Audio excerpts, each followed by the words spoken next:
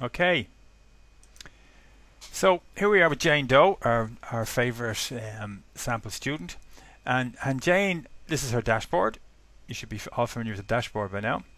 And on our dashboard, you can see that in the next 30 days, that she has two assignments to complete, one of them being for the LMS exercise and the other an essay for the mental health continuum test. So we're going to look at submitting an essay here.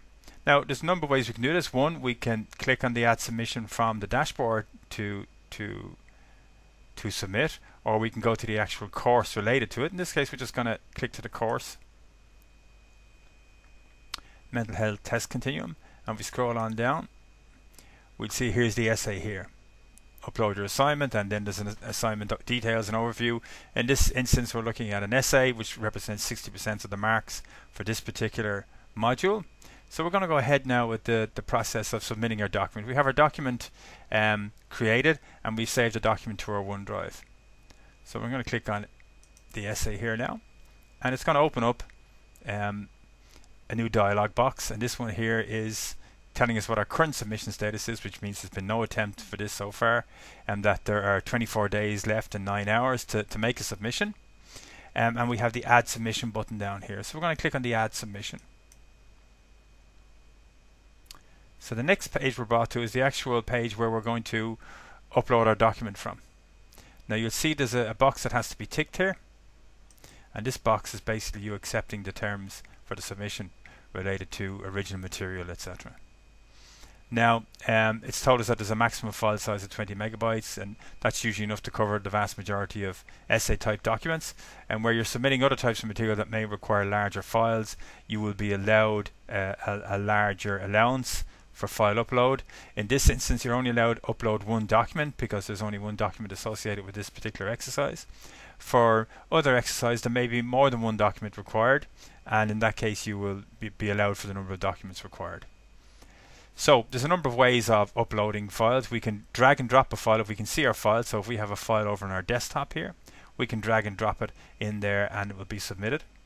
Um, but the method we're going to recommend is that you use the file picker.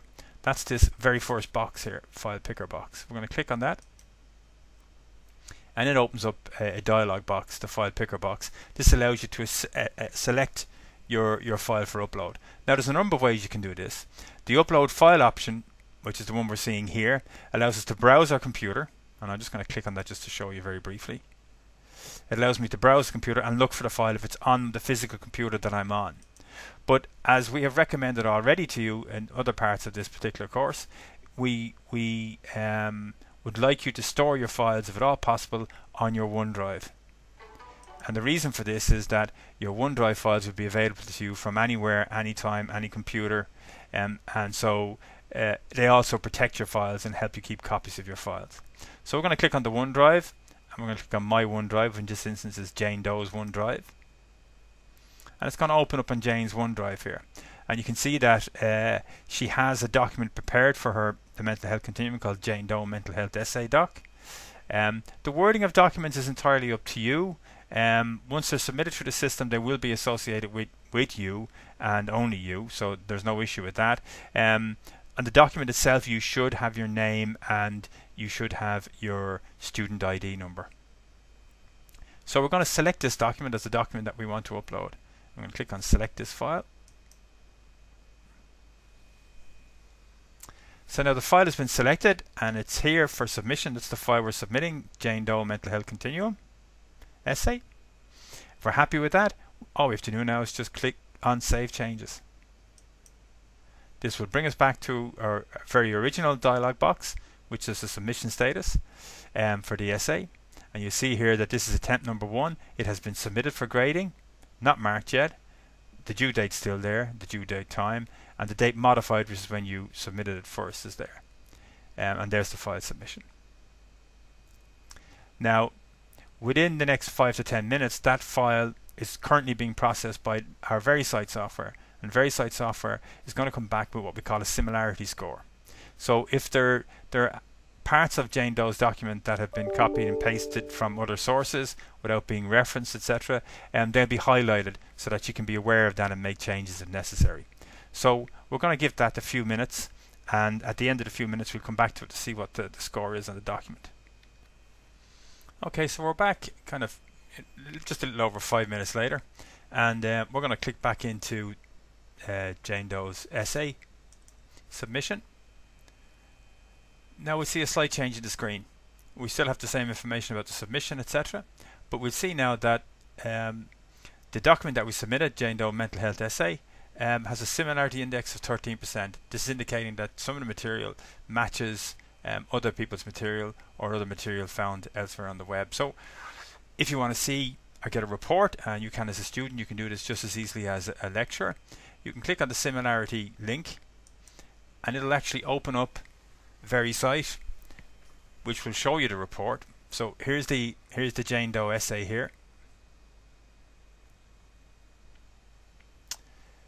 And here are the matches. So this is the information within this document that represents a 13% similarity.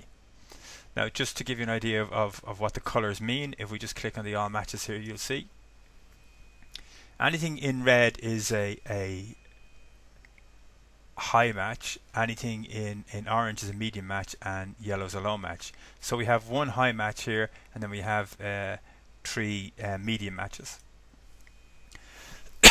now you may decide as a student, or Jane may decide as a student, that she wants to make changes here um, so that she can cut down her 13% mark. Now you can't do that from the report, it's only indicating and showing you where some of your your uh, mistakes are. You can of course download this report for review later, the download button here. There's a tutorial on how you can use um, these reports and get the best from them. And you'll also see down here that the report is not yet complete. So we've come back after five minutes and this is the result it's got after five minutes. It continues to scan in the background. I'll just click here. So it's, it's doing an external search engine scan. It's going through a number of external resources, including libraries and repositories, to see if there's any further similarities to be found. But we're just going to work with the similarities that it's already come up with here. So we have this report indicating. Now, Jane may, on reflection, look at it and say, well, okay, this red one here, what, why, why is that uh, red? So she looks at Dr. Costa font stated, we found evidence that social pressure through peer shape. So this is actually a direct quote from from Dr. Costa, and she may realize that she forgot to put inverted commas in. When you place inverted commas around um, any content, it it it's ignored by this, this the scan software because it's taken as a direct quote, and therefore um, even if it matches found, it won't come up as a similarity because you've already indicated that you've copied this direct quote from whatever source it might be. And she may discover that some of the other ones are also um, direct quotes. What you can do in that instance is you can go back into your original document, make the changes, and upload again. So in the next video, I'm going to show you that process of changing the document, and we'll stick with Jane's original document of changing the document and then uploading it again. So um, it can go through the, the, plagiarism scanner again to see if, if it's made any difference to the result. So uh, although uh, in this instance we're looking at a score of, of only 13% uh, on the plagiarism score and that's quite low and that would be quite acceptable for material that's been submitted. Um, you, you may find yourself you know that you if you forgot to put the inverted commas around the paragraph you may come back with a, a much higher score or if you've copied and pasted something from a website and you haven't um, cited it in any way it'll come back with a much higher score. The exercise that you have to perform um, in relation to uh, the LMS um, course here um, and the one that you actually have to submit yourself, that will come back with a much higher score than 13% because it's been structured to do that and allow you the opportunity to make the changes. So in the next video, I will take you through um, how you go about um, making the changes and resubmitting your work.